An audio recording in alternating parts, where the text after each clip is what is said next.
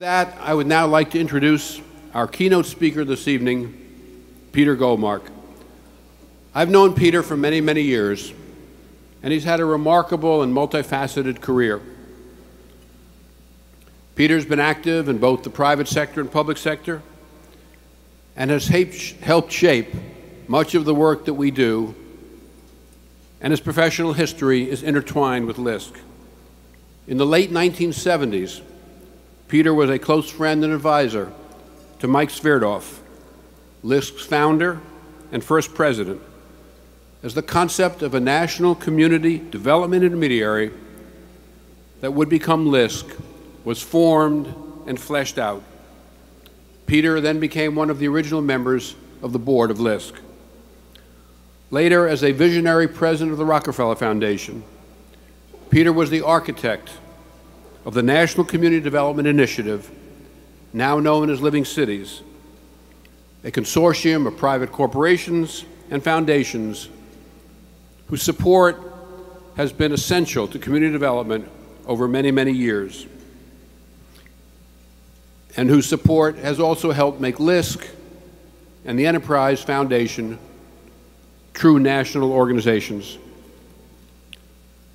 Over the years, Peter has also served as Budget Director for the State of New York, Secretary for Health and Human Services for the State of Massachusetts, Executive Director of the Port Authority of New York and New Jersey, Chief Executive Officer of the International Herald Tribune, and Director of the Climate and Air Program for the Environmental Defense Fund. We are extremely grateful to have Peter as our guest tonight and his many years of friendship and contribution to LISC. Please welcome our speaker tonight, Peter Goldmark.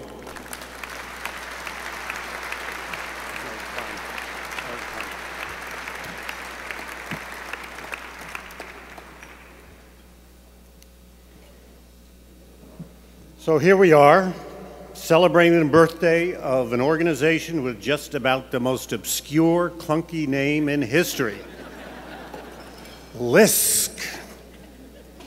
Sounds like an antacid. Sounds like something you'd put in your toilet to unclog it. It is, in fact, probably most of you don't know, it in fact was designed as a temporary name. I said to Sviridoff early on, you, you remember that? I said to Sviridoff, you can't have an organization with this name. People stumble over it, it's all abstract. He said, it's temporary, it's temporary. We'll change it. And here we are celebrating your 30th birthday and the 32nd year of your history in a place called the Museum of Portraiture Another name that could use a little work. Sorry, Susan. By the way, I trust you all saw the giant portrait of Michael Rubinger in the main gallery up there on the third floor. Hmm. But despite some of these disheveled and disjointed circumstances, we gather at a moment in the history of LISC when there is, in fact, a lot to celebrate. We gather also at a moment in the history of our country when the nation is deeply troubled. You know, sometimes in life you have to set out to climb a mountain, even if you're not exactly sure how you're going to do it. And I've got a story that recounts the history of just such an effort. It's your story, our story, if you'll let an old veteran count himself part of that history with you. I want you to hold a picture in your mind, a picture of blocks, endless blocks of ravaged city landscape, rubble, waste, despair, battered cars with no wheels, families afraid to go outdoors, druggies selling radiator pipes for fix money. And I want you to remember that this picture could have been of any of several score American cities. You can find hundreds, thousands of those pictures in newspapers and magazines of the 1960s, the 1970s, the 1980s, fewer in the 1990s, almost none in the 2000s. At the beginning of your efforts to address this blight, this cancer in the heart of our cities and our country, this plague that destroyed the lives of so many of the most vulnerable and consigned their children to dead ends and despair the moment they were born, at the beginning of your efforts, our efforts. Did we really know how we were going to do it? No, we didn't. We had the valuable experience of the pioneering Bed-Stuy Corporation, but seminal as it was in some ways, other parts of that experience were clunky and expensive and not always applicable. We didn't know a lot about how to structure investments in Center City Renewal to bring banks and other mainline investors into it regularly, at scale. I remember the day in the late 1980s when the CEO of JP Morgan looked at me and beamed at last, you've brought us an investable proposition. We had barely begun working towards wide-scale tax credit financing. We weren't sure how to do it. And frankly, we didn't know if we could do it. It's hard to recall, now that so much progress has been made, how huge, daunting, and uncertain it looked like. We were not sure as a country or as a group of people in community development that we knew how to do this. Sometimes you have to set out to climb a mountain even if you're not sure how you're going to do it. Well, we did an awful lot of it. We turned it around. There's a lot that remains to be done, and misery and poverty and social dysfunction have not been erased from our center cities. Have you been to Detroit lately? But the kind of physical ruin, the spiritual and social wasteland, the utter chaos, the overwhelming desolation and hopelessness that marked wide swaths of most of our urban cores, that is now largely past. Let me say that again because there are many in this country who don't grasp the magnitude of what has been accomplished.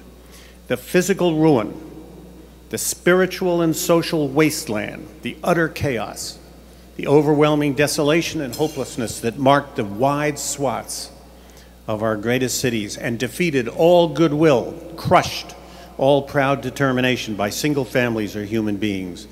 That is now largely past, and you cannot find those pictures today in our magazines and papers. Ask yourself this.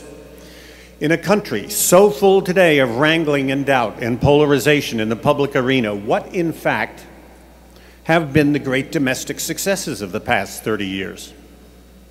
You know, we as a country strangely do not have the habit of looking at the scoreboard very often. What were the big domestic successes of the past three decades? Not management of our budgetary affairs, not investment in and modernization of our infrastructure, not addressing global warming, which remains a huge and growing threat, not dramatically improving public education, although there's some good signs now, not getting health care straightened out. Nope. By my count, there were two large, game-changing domestic successes, not unrelated to each other.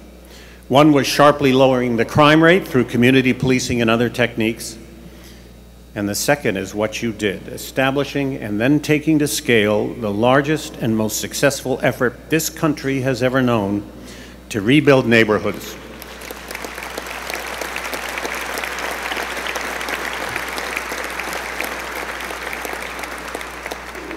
I think it's okay to feel good about what you've done. It is a huge achievement.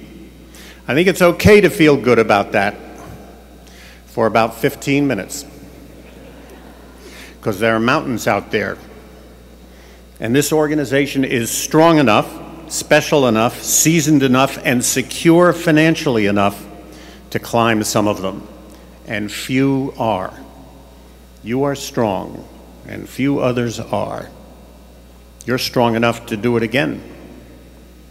There are several mountains out there, but I'm going to focus on one. I looked through some of your material that Mike sent me for tonight. I found a summary that noted 132 schools financed, 157 child care centers supported, 40 million square feet of retail community space, and other impressive feats.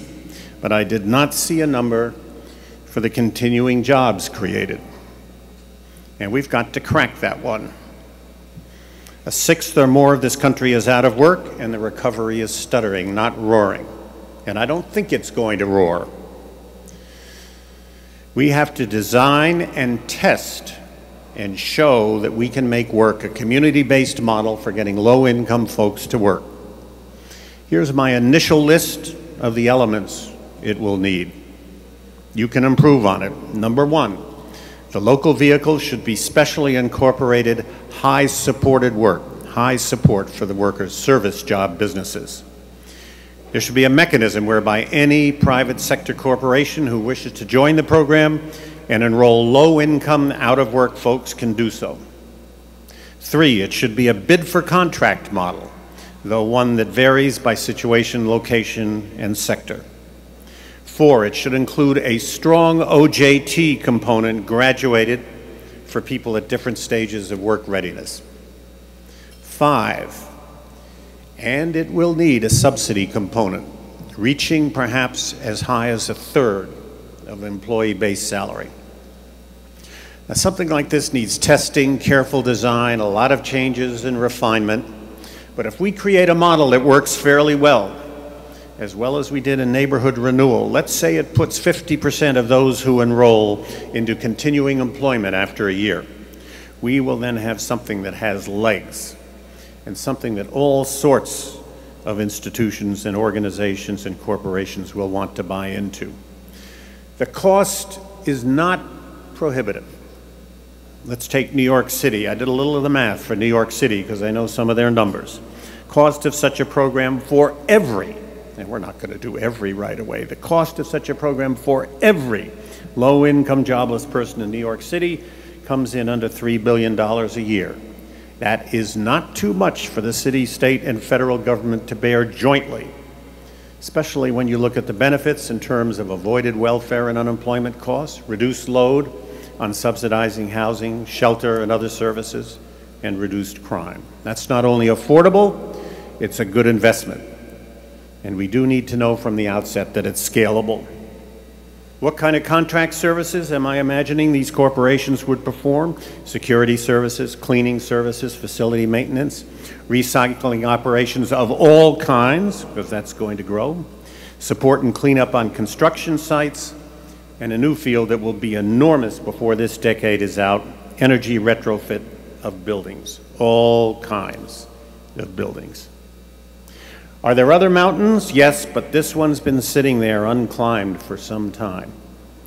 So that's for the future. Not too far ahead, I hope, but the future. That's for tomorrow. For tonight, we celebrate and we take stock. And there's another reason for us to take stock. And that is reason is that we are in trouble. We're in trouble as a country. Every one of us here this evening knows it. We know it in our bones, with our minds, in our spirit. We know it because this country, at its best, so boisterous, so cocky, so sure of itself, so practical, is uncertain. We have lost some of our confidence in ourselves and in our democratic institutions. We are worried, not determined. We are hesitant, not sure footed. We are vindictive and small minded in the public sphere, not constructive or generous. And in our politics, we have become more ideological and less practical, more likely to attack our public institutions than to strengthen them.